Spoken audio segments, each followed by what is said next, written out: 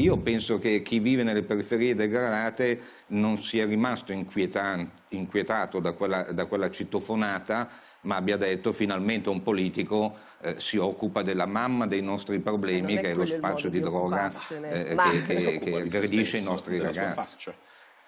Prego, eh, non è si occupa di se stesso, fa propaganda a se stesso, violando ogni principio dello Stato di diritto. Non è che, non è che poi risolve i problemi del quartiere, ammesso che siano quelli.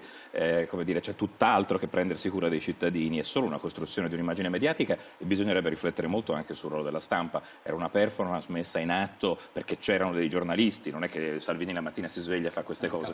In più, in più aveva detto anni fa, mesi fa, andremo casa per casa con i migranti. Questa espressione è un'espressione pesante perché prima l'ha detto e ora lo sta facendo. Una bella intervista al padre di un amico di questo ragazzo che ha detto che quando ha visto questa scena in televisione ha pianto pensando alla violenza che un personaggio pubblico con tutte le televisioni ai suoi piedi faceva a questo ragazzo.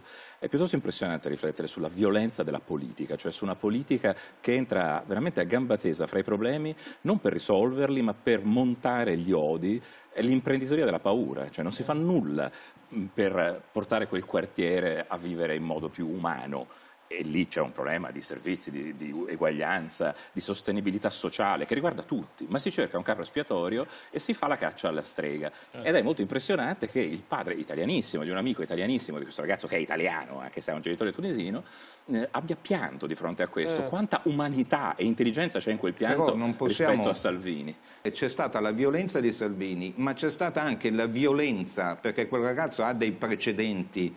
Mh, mm, eh, riferiti allo spaccio della droga, c'è stata anche c'è la violenza degli spacciatori Non il ragazzo minorenne, però scusa Alessandro. Non, so, questo, non, il eh, ragazzo di 17 ma che, ma, anni, il suo fratello e, il suo padre che hanno ora un regolare no, Se danno la droga a mio figlio non è che mi interessa quanti anni ha il pusher, fa il pusher. Sì, ma eh, non, è, quindi, non, io insisto non era che la gente, questo ragazzo io, di 17 anni La gente trova violenti gli spacciatori, non Salvini.